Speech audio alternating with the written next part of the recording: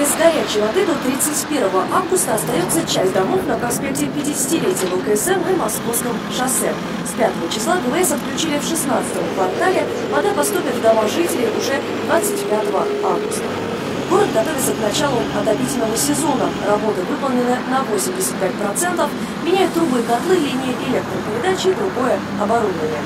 Тем временем управляющие компании продолжают заниматься промывкой, опрессовкой и ремонтом центрального отопления. Прошлая управляющая компания, это ГУГ железнодорожного района, в рамках капремонта на этом доме установил прибор погодного регулирования, но до конца в эксплуатацию его не ввел, хотя документы были подписаны. То есть неправильно работал сам прибор погодного регулирования, программное обеспечение. Новая управляющая обнаружила и другие ошибки. Например, неравномерное давление в трубах. В результате у кого-то в квартирах было невыносимо жарко, у остальных холодно. Под управлением находимся два с половиной года работы с управляющей компанией идут во взаимо тесном взаимодействии.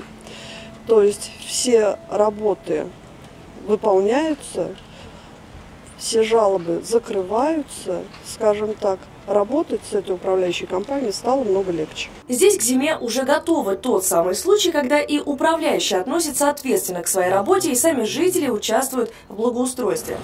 Другая часть домов в Ульяновске только начинает промывку труб. Необходимо это для того, чтобы вся скопившаяся грязь ушла и вода была чистой. Нам нужно по непосредственному управлению подготовить 55 домов. На сегодняшний день на 49 домах проведено промывка, опрессовка, провели ревизию запорной арматуры. ТСЖ и ЖСК готовы на 82%. Больницы и школы, детские сады, дома культуры и спорта практически завершили все необходимые работы. Есть новости для тех, кто свою управляющую потерял.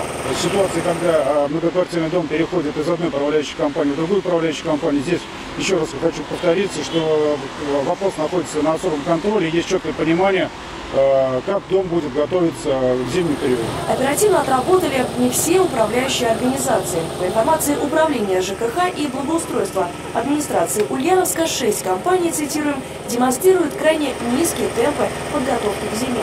Письмо с такой информацией в скором времени Ульяновская администрация отправит в надзорные органы.